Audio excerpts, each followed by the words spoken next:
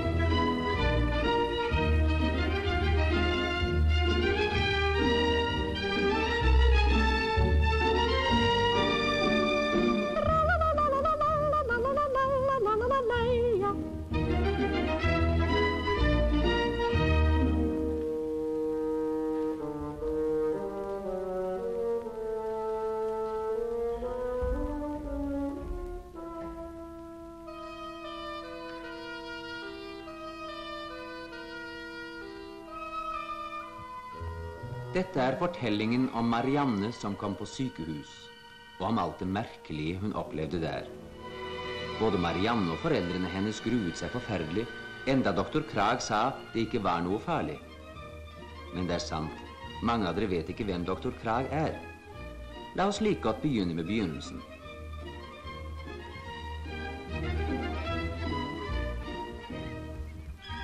Sør i Norge et sted ligger en liten vakker by med hvitmalte, lave hus.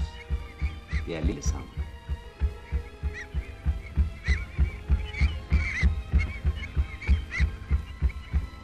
Og her, i dette huset, bor Marianne. Marianne er ni år. Alle i Lillesand kjenner henne og synes hun er søt og grei.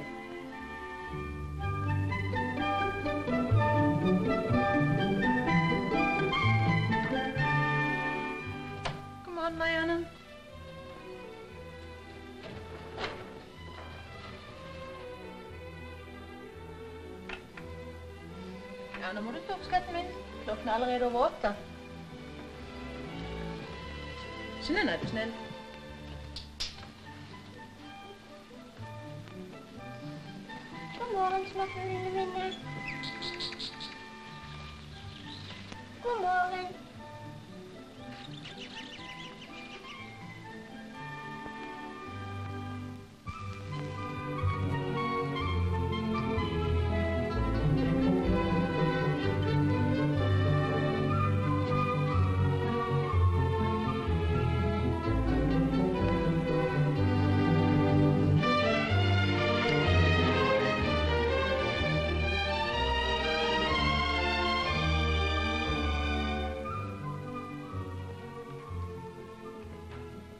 Er den snart ferdig? Ja, et øyeblikk. Hvor er Marianne, du? Marianne? Ja, vi er snart ferdig.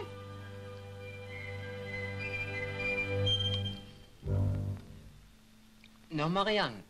Nå må du spise pent. Ikke så mye på sida. Du kommer tidsnok på skolen.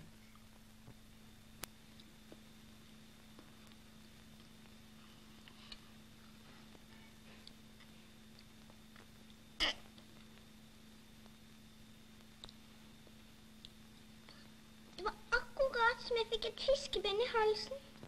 For noe tøv. Du vet at det ikke finnes fiskeben i havregrøt. Så spis nå. Her har du skolematen din. Du kommer rett hjem fra skolen. Er du snill, for du skal gå hjem for meg etterpå. Ja vel, mor. Kan du leksene dine i dag? Ja, det kan jeg vel. Ja, vi er nå riktig flink i dag, lille venn. Marianne, du har ikke sett noe til bussnålen min, vel? Nei, Og du låner den av og til, vet du. jeg har ikke lånt den på lenge nå. Nei, nei. Så, se nå kom det av sted. er da, vennen min. Så ta du godt på det. Så husk å ta et skjerf i halsen. Ja vel. Adjø da. Adjø da.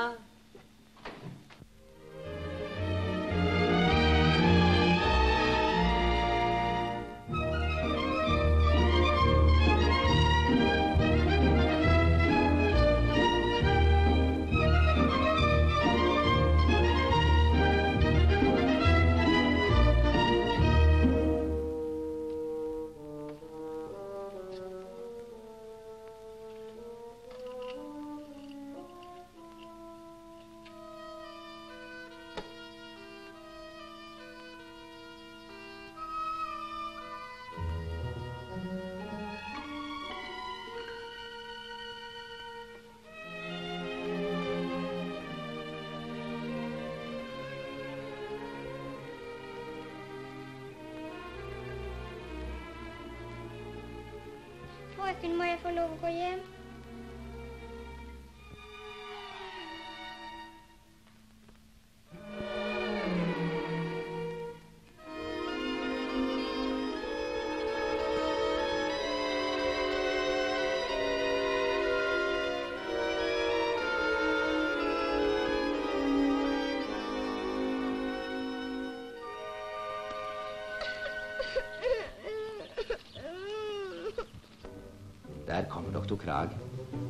må stadig hilse, for hele byen kjenner ham. Det kan regne og blåse så mye det vil. Det kan være søndag eller hverdag. Det kan være midt på natten. Doktor Krag kommer til alle som trenger ham.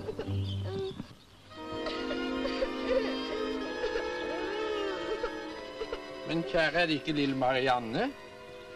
Hva er det i veien med deg, da? Jeg har så vondt i magen. Ja, da er det nok best du blir med opp på mitt kontor, så skal vi se hva det er som feiler deg.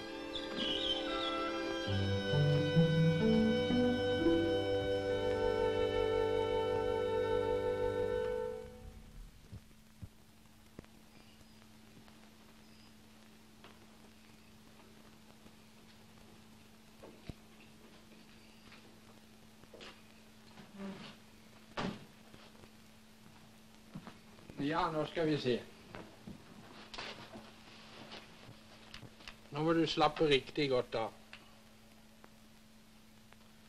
Gjør det vondt der? Nei, Gjør det vondt der? nei, Nå må du ikke lyve bare for å være kjekk, skjønner du. Gjør det vondt der? nei, Gjør det vondt der? ja, Der? ja.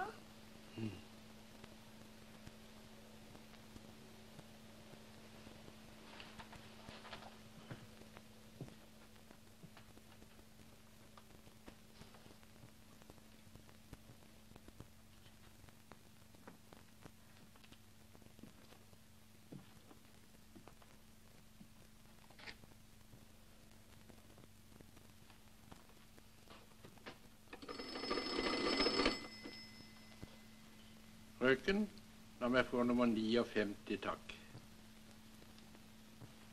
Dette er doktor Krag, frue. Jeg traff lille Marianne på gaten nettopp nå. Hun er ikke frisk. Jeg er redd for det er noe med maven. Det er ikke noe alvorlig, vel? Det er ikke godt å si. Blindtarm er det ikke. Men jeg foreslår at vi sender henne til Rikshospitalet. Der får hun en grundig undersøkelse. Jeg skal ringe dit med en gang. Adjø da, frue. Adjø, da. Takk for de ringte. Rikshospitalet? Ja, Rikshospitalet. Rikshospitalet. Vær så god. Kirurg B, fjerde avdeling. Den er opptatt. Rikshospitalet. Vær så god. Vær så god. Ja, er det, er Ja, det vil du riktig ringe på litt lidelse? det står. Ja, et øyeblikk så skal du få kirurgen B, vakthavende Den er også opptatt, ja. Vær så god, her har dere. Vær så Ja. god. Det er Lillesand, doktor. Takk, søster. Det er reservelegen de taler med. Nei, god dag, god dag, doktor Krag. Nå. Nederst i spiserøret. Ja, vi skal ta imot henne med en gang. Jeg skal gi beskjed om ambulansefly. Adjø, adjø, doktor Krag. Reservelegen er ikke den som somler. Han gir øyeblikkelig beskjeden videre. Et ambulansefly må til Lillesand og hente Marianne straks. Han somler ikke, flyveren heller.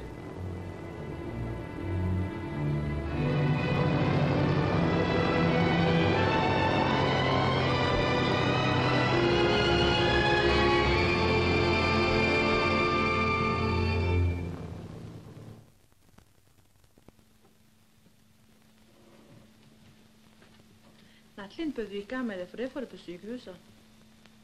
Og jeg som skal reise for det. Og her har du noen bøker og noen fargeblyanter. Takk, far. Så så, du skal nå snart se du kommer hjem igjen. Kom inn. God dag, god dag. God dag, god dag. Nå er den lille damen snart reiseklar. Ja, jeg skal bare pakke mine egne saker. Nei, de kan ikke være med ambulansefly, Ja, Hvorfor? Nei, det er bare for de syke. Og dessuten er det helt unødvendig. Sykepleiersken sørger for lille Marianne hele veien.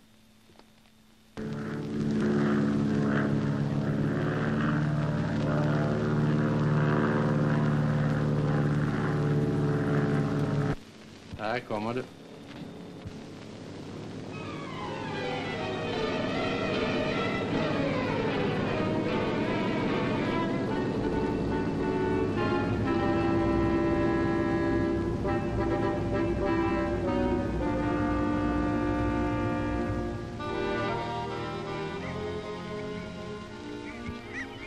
Mor, jeg ruser meg sykehuset.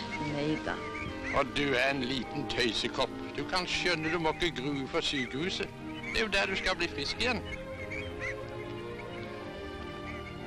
Ja, nå får du ha god tur.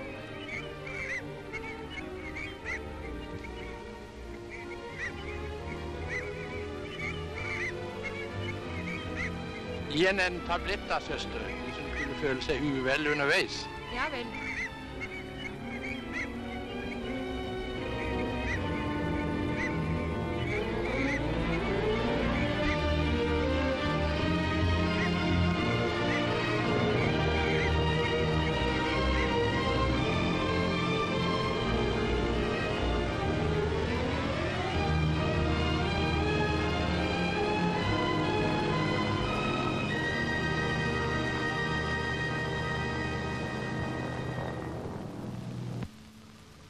Marianne flyr, høyt over holmer og skjær. Motoren durer jevnt og trygt. Flyveren passer instrumentene, og sykepleiersken passer Marianne, som holder på å sovne. Den tabletten var nok ordentlig sterk. Og Marianne drømmer.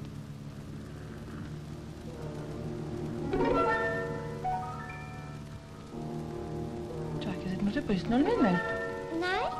Du vet du låner den av og til. jeg har ikke lånt den på lenge nå. Nei, nei.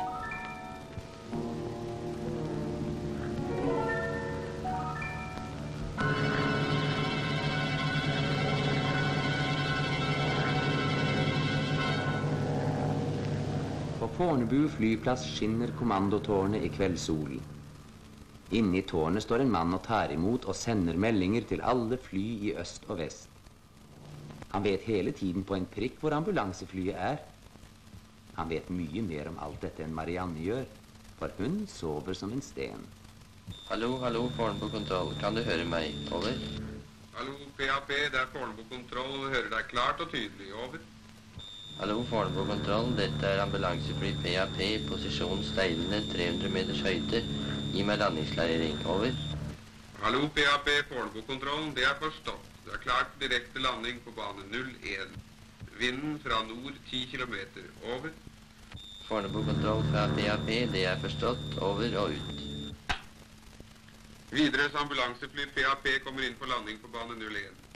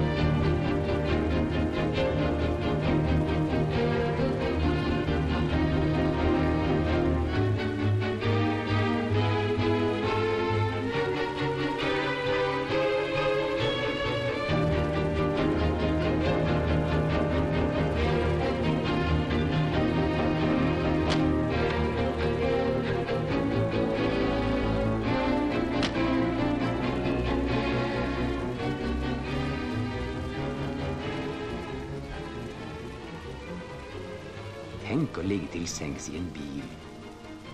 Rutene er matte. Marianne kan ikke se ut, men hun kjenner hvordan bilen svinger. Snart hit, snart dit.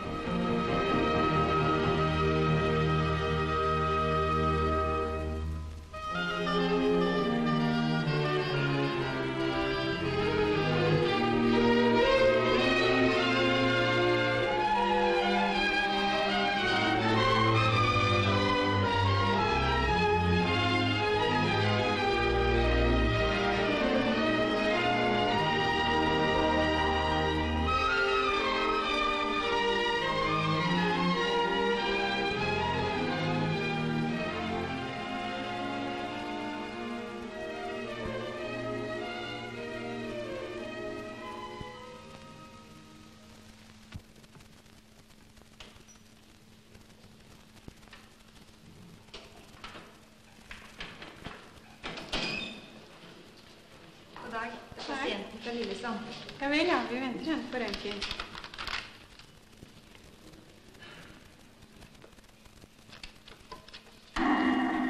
Hallo? Er dere klare til å ta pasienten fra Lillesand nå? Ja, det er klart.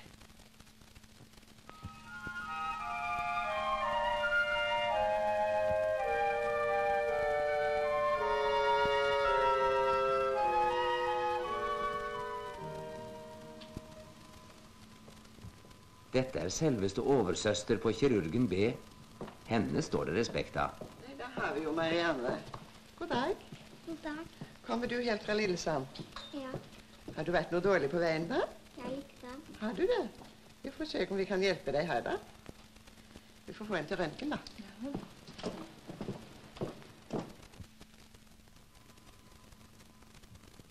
Røntgenapparatet er en fantastisk ting. Ved hjelp av det kan man se tvers igjennom maver og hoder og armer og ben. Feiler du noe innvendig, kan røntgenbildene fortelle legene hva som er i veien med deg.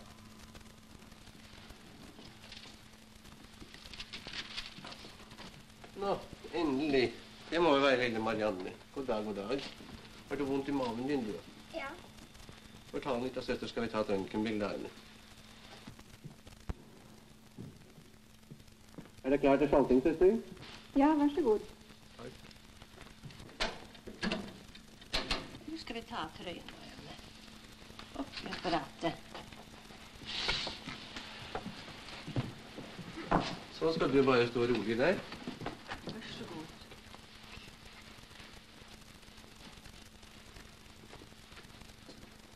Du er ikke noe redd når det blir sånn mørkt, du er jo det? Nei da. Nei da, du er kjekk jente, du.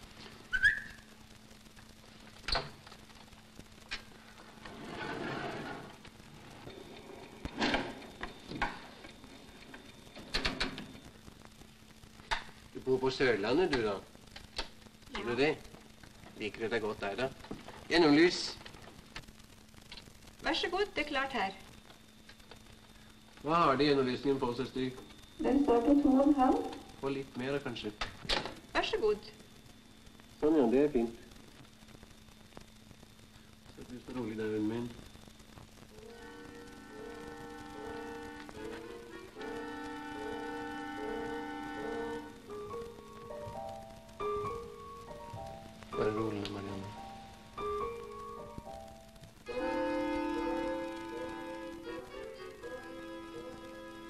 Aha, er det sånn det henger sammen? Hva er det for noe rart du har i maven, du, da? Det må være noe du har slukt.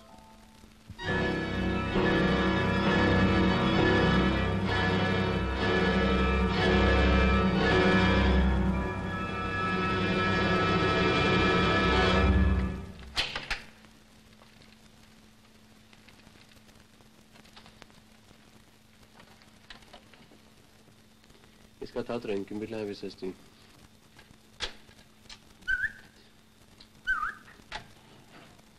skal ta et bilde av det der, vi. Sånn 35, 35 kassett, søster. Nå skal du stå ganske stille. Nå skal du holde pusten din om det. Tror du du kan det? Ja. Du var flink liten pike der. Husk på at den er tynn, da. Ikke ta for mye på den. Stå helt stille nå. Trekker du pusten inn. Og så holder du pusten. Ikke puste nå.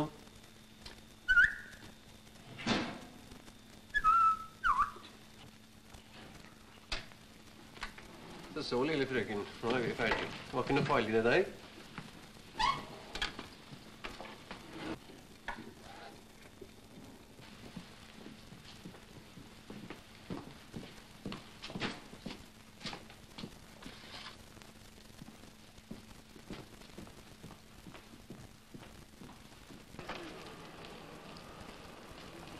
Fie fremkalles. Men først blir det stemplet med Mariannes navn og med et nummer som hun også har fått. For det går ikke an å tenke på hva som kunne hende hvis det ble gjort en feil.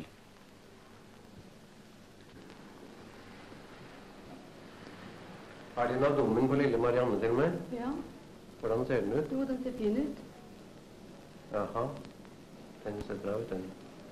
Ja, den ligger i ventrikken, og det ser ut som nålespissen har perforert veggen. Ja vel, det var som vi antok det. Ja, hun må jo opereres med en eneste gang. Ja vel. Det får gå. Her blir det ikke spart på såpeskummet. Men det er nok helt nødvendig, for alle som blir lagt inn på Rikshospitalet, må være rene som gull. Anne... Anestes... Anestesi. Det var vanskelig å lese. Men det betyr rett og slett bedøvelsesrom. Og her skal de få Marianne til å sove. Nå, hvordan står det til med deg?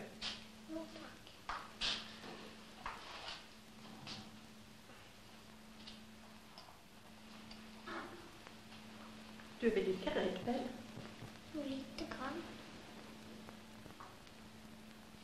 Nå skal du se. Kan du være flink pike og telle litt for meg? Tell fra én og oppover. En, to, tre, fire, fem, seks, syv, åtte, Hvorfor teller ikke Marianne lenger? Nei, for hun er alt sovnet av den luften som doktoren lot henne puste inn.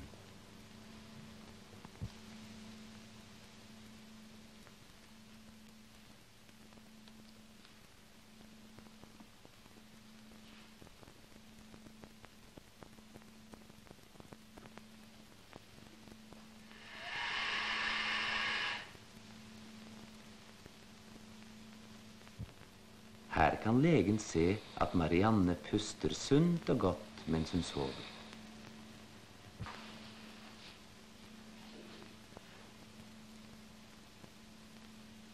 Ja. Tenker jeg det er klart, jeg, søster.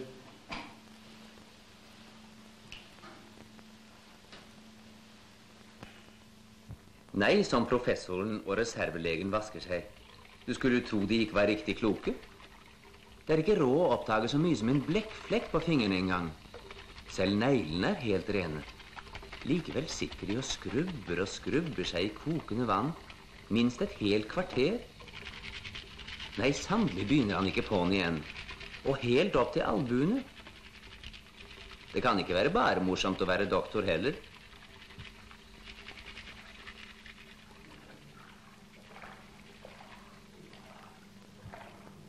Efterpå må de vaske seg med sprit. I mellomtiden skyver operasjonssøster skinnende instrumenter inn i blanke beholdere hvor de skal putre og koke. Ja, alt som skal brukes til operasjonen blir lagt i forskjellige kjeler og satt under varme og damp for å bli helt fri for smitte. Det kalles å sterilisere. Endelig er reservelegen ferdig med vaskingen. Nå får han på seg en hvit hette. Og den er ikke bare ren. Den har ligget i et stålskap som er så lufttett at ikke en eneste en av de tusen billioner, trillioner sykdomsbasiller som finnes i verden, kan slippe inn. Det er ikke for å skremme noen at reservelegen kler seg ut sånn. Men hetten må dekke for både nese og munn for at han ikke engang skal kunne puste på Marianne. Instrumentene er ferdigkokt og klare til å legges frem. Fra nå av har ingen lov til å røre dem med bare fingre. Så nøye er det.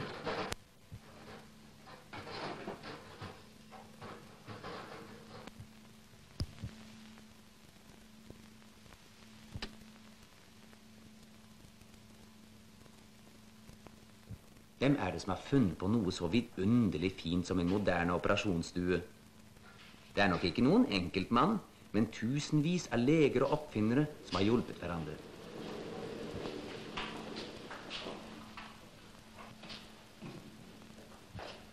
Midt i taket lyser lampen som en liten sol.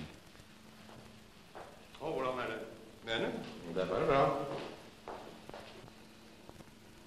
Så bra.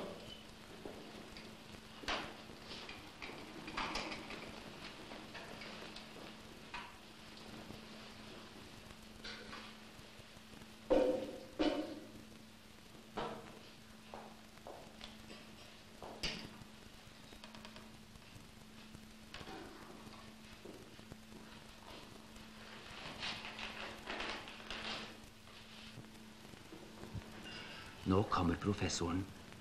Endelig er han ferdig, han også.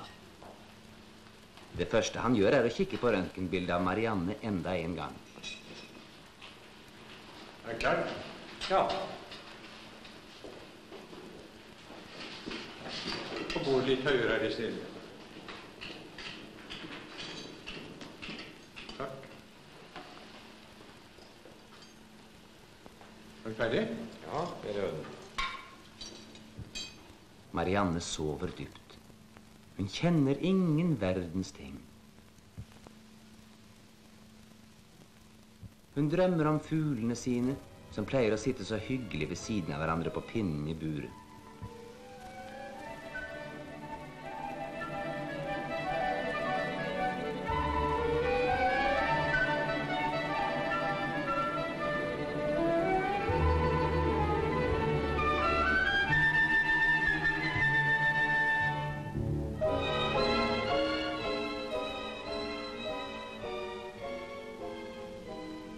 Hun drømmer om Mons, som sitter i vinduskarmen og lurer og lurer på hvor i all verdens rike hun er blitt av.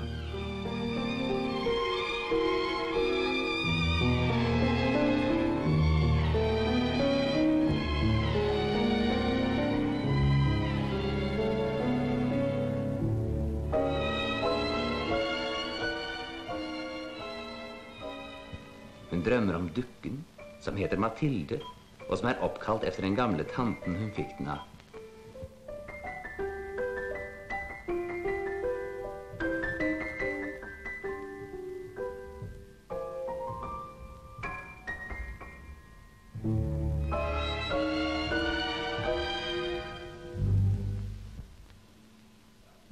Og Marianne sover og sover og bare sover.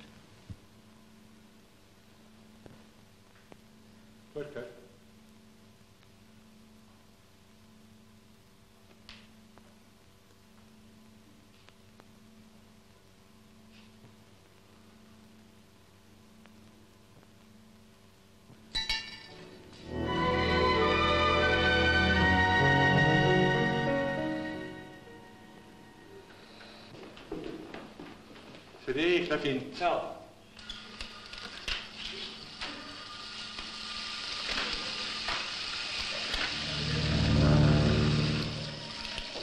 Marianne drømmer at hun flyr.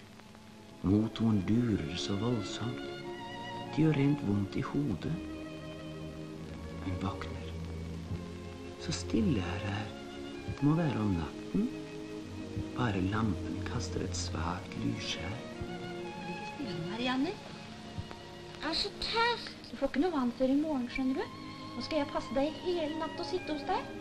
Legg deg til og sov igjen. Men nattsøster sover ikke. Snart ordner hun med teppet som er glidd ned.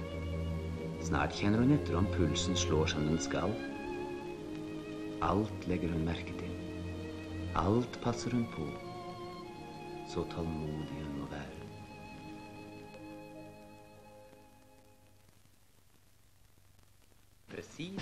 seks kommer søster Amanda.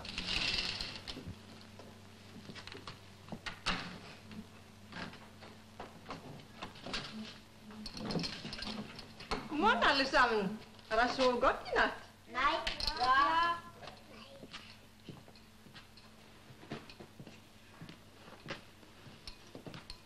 Dag, Marianne. Har du sovet godt i natt? Ja, takk. Skal vi se om du har noe feber i dag. Nå kan Marianne se hvem hun er kommet sammen med. Nærmest ligger Evelyn, som har brukket benet fordi hun sparket etter en katt, men sparket seg selv isteden og ramlet nedover alle trappene. Så nå sparker hun nok ikke etter katter mer. Ved siden av ligger Bente. Hun har vondt i maven, hun også. Nederst ligger Kristine, som er bare tre år og ikke kan fortelle hva som er i veien. På den andre siden har vi Gunda, som ligger med armen rett ut, bundet fast til en fjell. Ingen vet hvordan hun har greid å ødelegge seg slik. Så kommer Hansine med hodet helt inntullet i bandasjer. Dukken må ha det likedan, sa hun til professoren. Bergljot har noe slags vondt innvendig, og det samme har Line.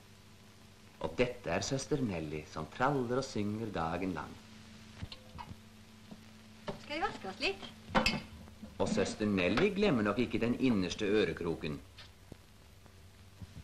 De som er friske nok til å vaske og stelle seg selv, hopper ut av sengene sine, men Marianne greier ikke å stå på bena i dag.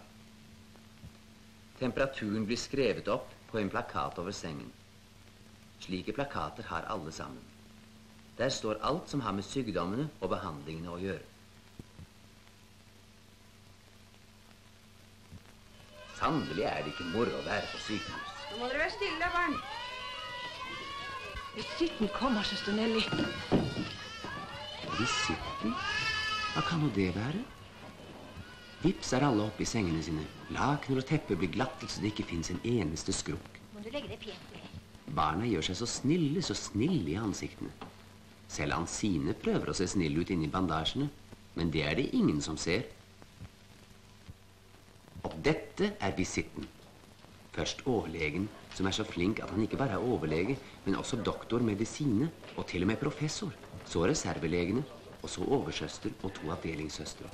Bakerst kommer noen studenter som skal lære å bli leger. Alle er kledd helt i hvitt, akkurat som bakere. Og pasienten fra i går? Jo, hun har det bare bra. Hvor ligger hun henne, søster? 411. 411. Visitten kommer, titten kommer. God morgen, Sofiken. Hva til med deg? Du har det bra.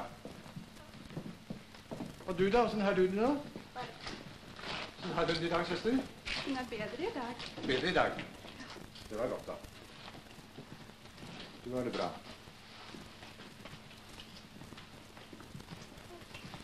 Og der har vi en liten ny pasient, søster. Hun har kommet i dag. Kom i dag.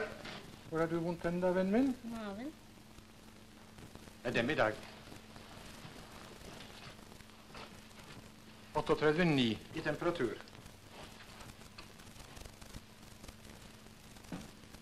Klem ikke for hardt. Appendisitt.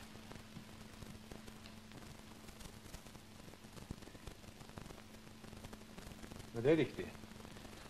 Vi gjør henne ferdig til i formiddag, da, søster. Takk. Vær flink pike. Du har det bra? Og der har vi vår lille venninne fra i går. God dag. Åssen har du det i dag, da? Takk bra. Åssen har hun hatt det i natt, søster? Hatt en god natt. Hatt en god natt. Du var heldig hun kom frem i tide. Smile kan du også? Men hvordan får barna på sykehuset tiden til å gå? Evelyn koser seg med bøkene sine, og når hun har lest dem ut, låner hun dem til de andre. Gunda har laget hus med dynen som tak for å være i fred med dukken sin, men blir naturligvis forstyrret av en som har fått ny lommelykt. Hansina får ta av seg bandasjen. Det var ikke noen særlig forbedring, mener Line, men hun er så fel til å erte. Kristine er nesten for liten til å finne på noe. Derfor leser de andre høyt for henne. Marianne klipper ut og bretter sammen de rareste dyr. Det er hun veldig flink til. Det var lurt av far å huske på saks og fargeblyanter. Og snart står det Marianne-dyr på alle nattbordene bortover.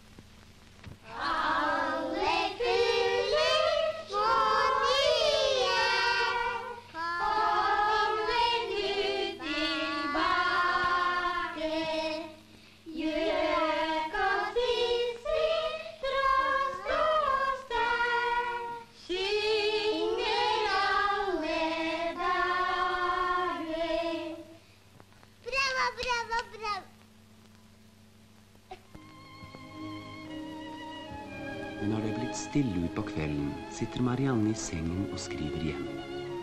For én ting er litt sørgelig, og det er at nesten alle de andre får besøk av far eller mor, eller i hvert fall av en tante. Men Marianne kjenner ingen i Oslo. Hun skriver om dem hun ligger sammen med, og om alt hun har klippet med saksen. Ja, der kommer jo snart hjem igjen. Ja da. Skal iallfall bli deilig å få se henne igjen. Jeg skjønte nå. Kom inn. Ja, hils Marianne, da.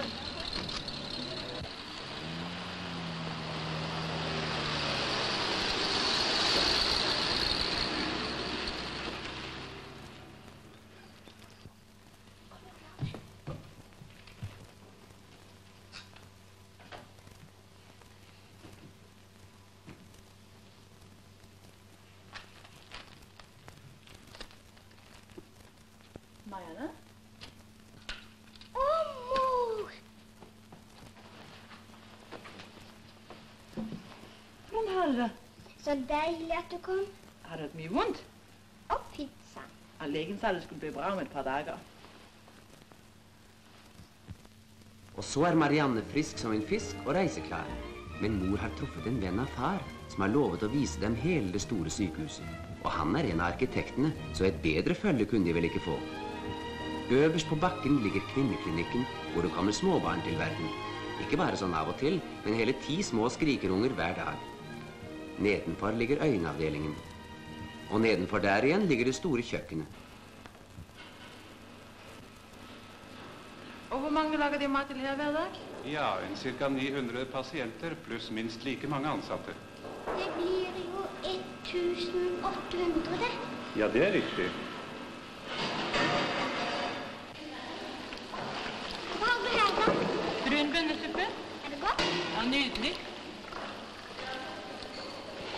Og den brune bønnesuppen kjøres til de forskjellige avdelingene med denne snille hesten. Eget vaskeri har de også. Ja, til og med eget posthus. Nederst mot gaten ligger avdelingen for sykdommer i øre, nese og hals. Og der er også alle kontorene. Og der har vi den medisinske avdelingen. Bakenfor ligger hospitalets eldste bygning, som nå er hudavdelingen for kvinner. Marianne begynner å skjønne at Rikshospitalet ikke bare er ett hus, slik hun først hadde trodd. Det er nesten en hel by. Og dette er patologen. Og hudavdelingen for menn. Men alt dette er bare småsaker mot nybygget der. Kirurgen. Eller det nye søsterhjemmet.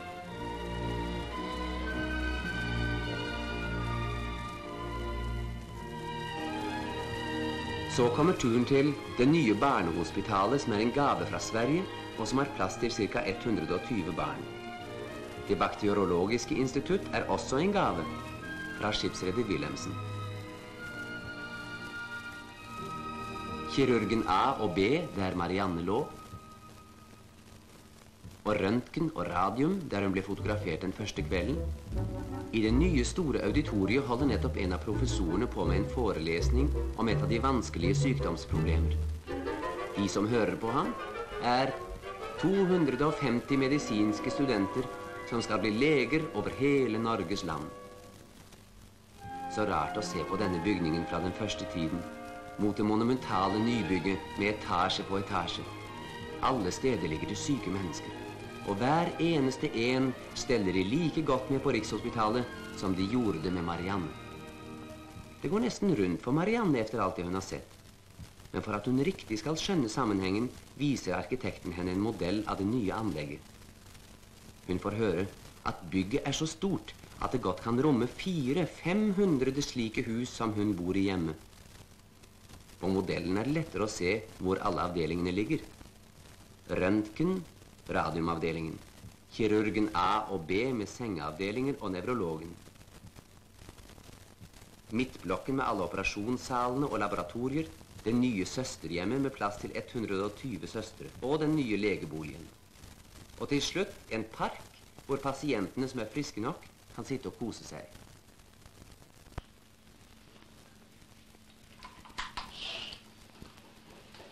Nå må du ikke åpne den før du kommer hjem. Kan du love meg det? Ja. Kan du si pent takk for det? Tusen takk for meg. og Takk for at dere har vært så snille mot meg alle sammen. Det har vært ordentlig hyggelig å ha deg her. Takk skal du ha. Og du har det godt, da. Farvel, frue. Kom og kjør hjem. Takk for det.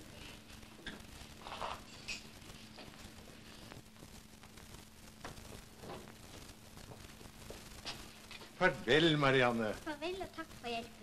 Vel hjem. Takk i like måte. Takk for hjelpen, professor.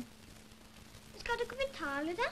Ja, betale, ja. Ja, for alt sammen. Det må da koste en fryktelig masse penger. Ikke noe når pappa står i trygdekassen. Velkommen igjen, Marianne. Ja, det vil jeg gjerne hilse på. Adjø, mamma. Et øyeblikk, professor. Marianne sitter i flyselskapets store buss ut til Fornebu flyplass. Så heldig hun er som får fly hjem igjen også. Enda hun er frisk.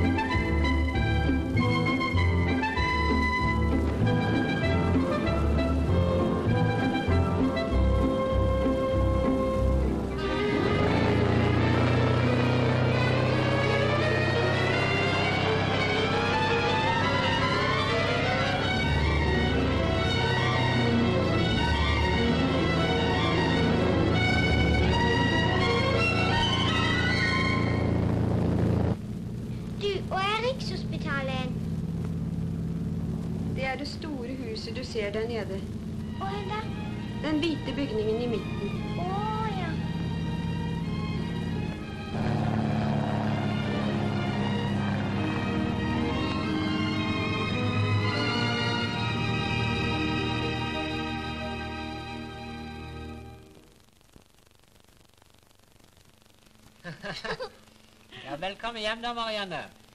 Pappa. Velkommen hjem. Velkommen hjem. Du hadde det vel ordentlig moro på sykehuset, Marianne? Ja, og du, hva er det den esken som du fikk over, søster? Det er esken, ja.